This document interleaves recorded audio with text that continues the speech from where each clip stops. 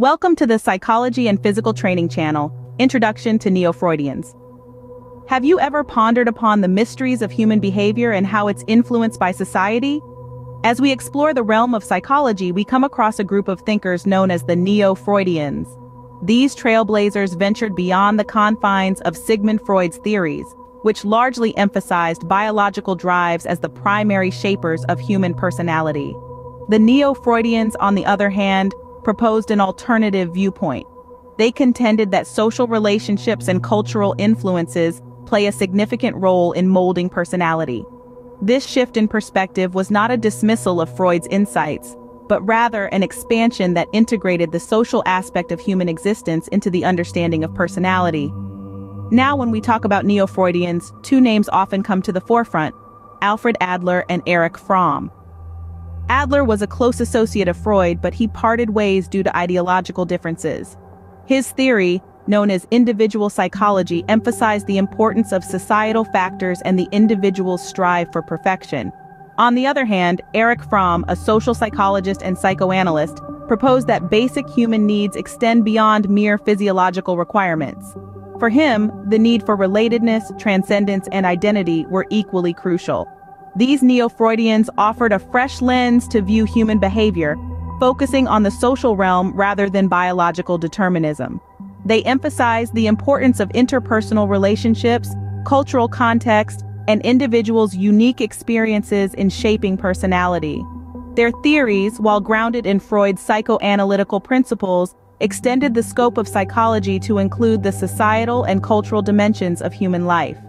This shift from the individual to the social, from the biological to the cultural, marked a significant turning point in the field of psychology. It paved the way for a more holistic understanding of human behavior and personality. Now that we've set the stage, it's time to dive into the fascinating world of Adler's individual psychology. Prepare yourself for an insightful journey into the depths of human nature, where society meets the self and culture shapes character. An overview. Imagine a psychology that focuses on the individual, not as an isolated being, but as a social creature. Intriguing, isn't it? Welcome to the world of Alfred Adler, a neo-Freudian, whose theories shook up the field of psychology in the early 20th century. Adler's theories, collectively known as individual psychology, revolved around the idea that each individual is unique, and that this uniqueness is shaped by their social context. Adler's first major concept is the striving for superiority. He believed that all people have an innate drive to overcome their inherent feelings of inferiority. This drive propels us towards self-improvement and helps us to reach our potential. It's not about being superior to others, but about becoming the best version of oneself. Then there's the concept of social interest. Adler posited that we are all social creatures and our mental health is deeply connected to our ability to connect with others. Social interest, according to Adler, is an innate potential that needs to be nurtured. It's our ability to empathize, to cooperate, and to contribute to the welfare of others. It's about feeling at home in the world and having a sense of belonging. Adler's third major concept is lifestyle. This refers to the unique way that each person perceives, thinks about, and interacts with the world. Adler believed that our lifestyle is shaped by our early childhood experiences, and it is through this lens that we interpret all of our future experiences. Our lifestyle then becomes a self-fulfilling prophecy as we unconsciously seek out situations that confirm our preconceived ideas about ourselves and the world. In essence, Adler's individual psychology suggests that we are not merely products of our past, but creators of our own futures.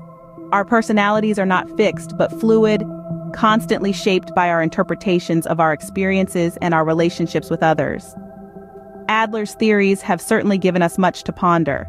Now let's shift our focus to another influential neo-Freudian, Erich Fromm.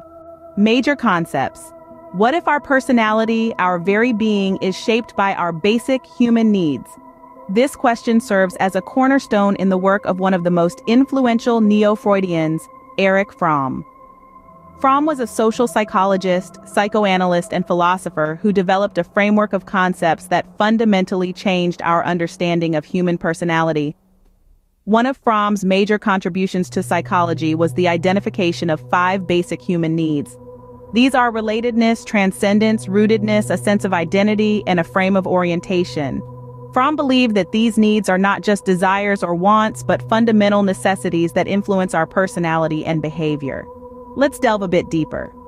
Relatedness refers to our need to connect with other people, to love and be loved. Transcendence, on the other hand, is our drive to go beyond our animalistic existence, to create and innovate. Rootedness is the need for a sense of belonging, to feel at home in the world. We also have a need for a sense of identity, to recognize ourselves as unique individuals. Lastly, we need a frame of orientation, a way to understand the world around us and our place in it.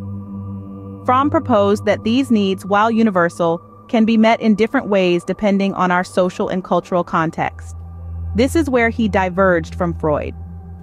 While Freud focused on the individual's internal world, Fromm emphasized the impact of society and culture on our psychological development.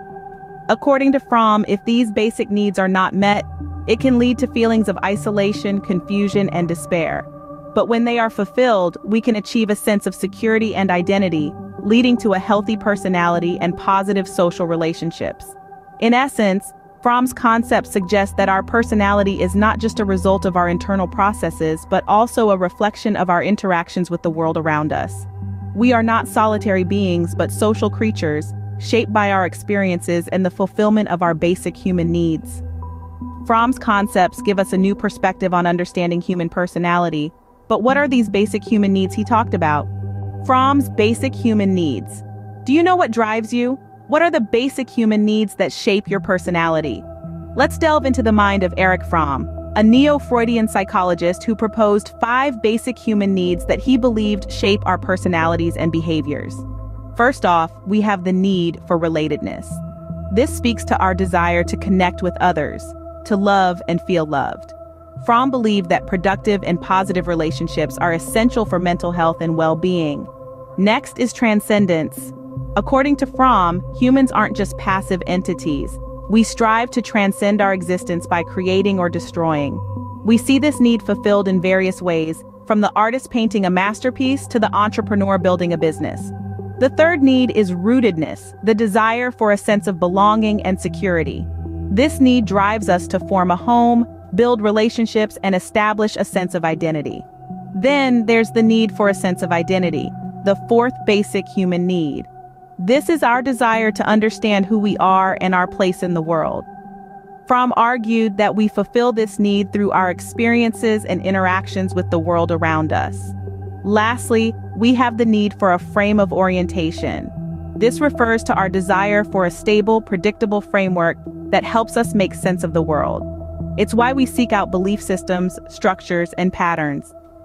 Fromm's belief is that these needs are not hierarchical, but rather they are interrelated and equally important. Our personalities and behaviors are shaped by how we strive to meet these needs and the ways in which we balance them. But remember, Fromm's theory is just one perspective.